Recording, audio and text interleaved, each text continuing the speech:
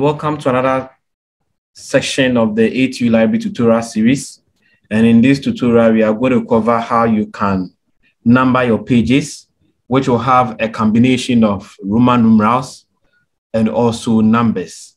And in our previous tutorial, we were able to generate automatically list of tables. We also generated list of figures automatically. We also did something on how to generate table of content automatically, not doing it manually and putting the numbers over there.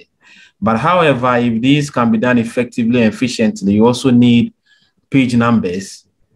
And so we are saying that um, the cover page of your project work should be without any number, followed by your abstract, dedication, acknowledgement. Those initial pages should have Roman numerals, and the pages that comes after the initial pages, after the abstracts, or after the last, let's say the list of tables or figures, should have numbers on these pages. Now the question is, how do you combine Roman numerals and that of numbers on a particular document? And so this tutorial is going to cover page numbering, whereby we have Roman numerals and that of numbers on a single document. And so we use, we have our Word file over here, and you realize that this is the cover page, and these are the initial pages after the cover pages, after the cover page, and we also have a page starting with, that is the chapter pages. So we have chapter one and so forth. So we are saying that um, the pages that comes before the chapter should bear Roman numerals, and that, that comes after, that is the chapter pages should have numbers on these pages. So how do you go by such numbering? And so to begin with, what you have to, or the two things that we'll be using over here is the show slash hide button and we also we also use the the next page where whereby we'll be introducing a section break. So first of all, let's go back to our home tab. Then let's click on the show hide button. Now one may ask uh, what actually is a show hide button. Uh, the show hide button actually turns hidden characters like spaces, paragraph, and so forth. The show hide button turns these hidden characters on and off. So we will first of all introduce the show hide button to see all hidden characters. Now, after introducing the show hide button, there is something that we call section breaks.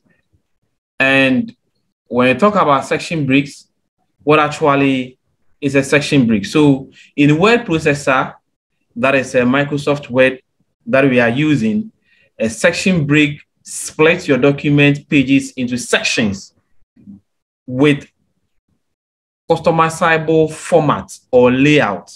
So what we are trying to say is the section break will put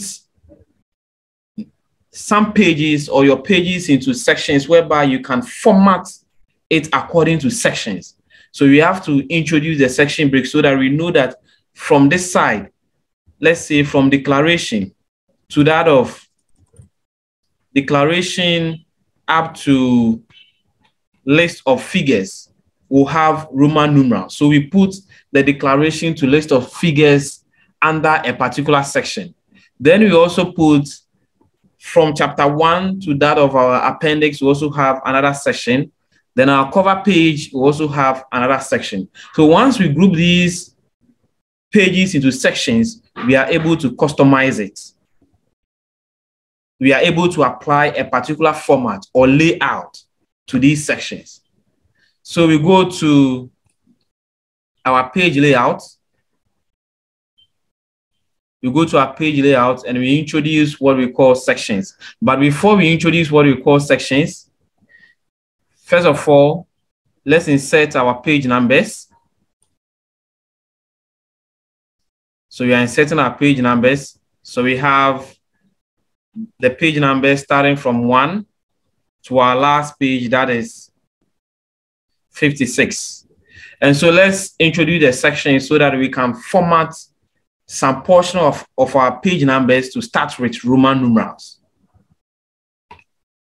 So we go to page layout. Now you come to the last, you can introduce your page section over here. And so we are introducing, we are introducing next page. We are introducing the next page.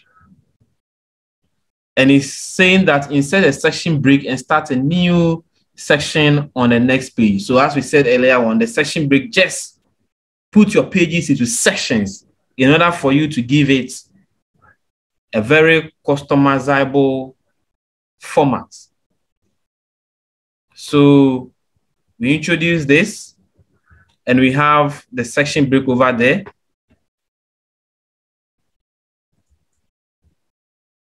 Now, we also, so we have the declaration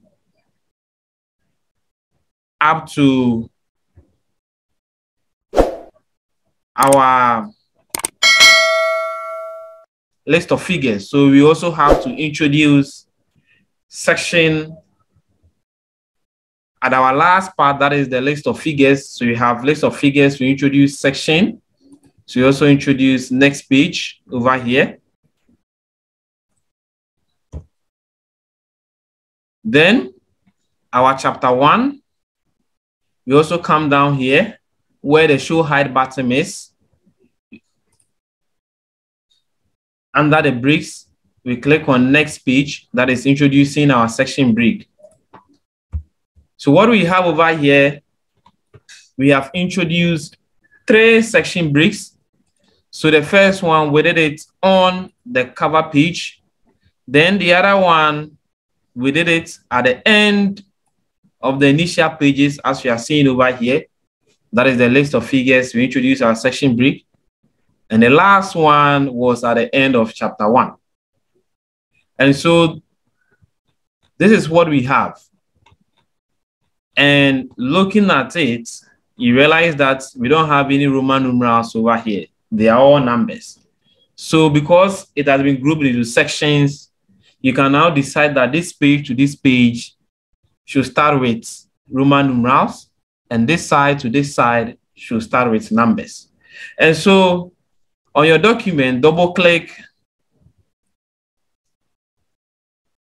at the footer where you are seeing, so this is the footer, you double click for it to be highlighted.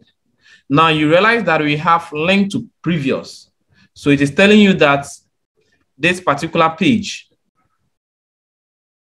is telling you that this particular page where I have my cursor on is being linked to this cover page. So it has been linked to the previous page as you are seeing. Now we are saying that we don't want this to be linked to our previous page or our cover page. So we break it, we disable it. Now it has been disabled. And so we also come to our chapter one.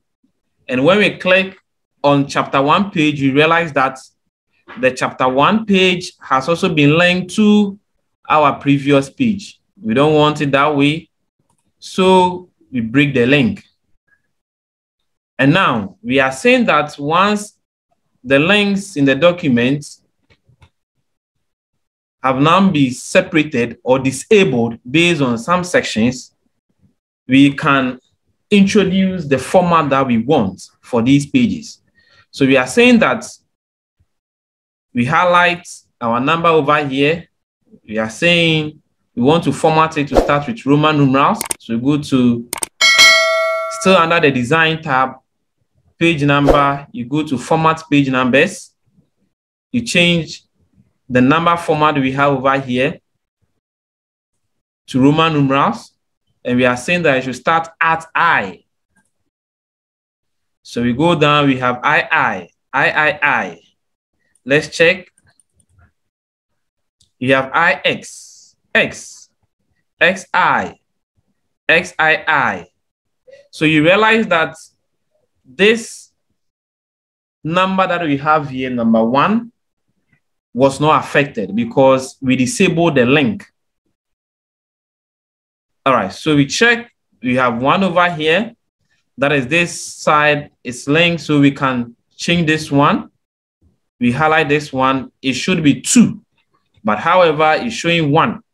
So we can come to our page number, format page numbers, then continue from previous section. And the previous one is bearing a number that is one, two, three, and so forth. So the number on the previous page is one. And so we are saying that it should continue from the previous section. So this side must be two. So we have two, we have three, four, all the way to 43. Now we are also saying that what we have over here, our cover page should not bear any number. So we highlight it, page number, remove page numbers. You realize that the numbers on the other pages were not affected. The Roman numerals also are not affected, but rather it's only the cover page. We can then close our header and footer and disable our show and hide button. So you realize that we have our numbering captured here correctly. That is I, I, I, where we have the chapter one is also starting from one and our cover page has no number. So that is it for page numbering, a combination of Roman numerals and that of numbers. Thank you once again for watching this tutorial from ATU Library tutorial series. Always remember to subscribe to our YouTube channel.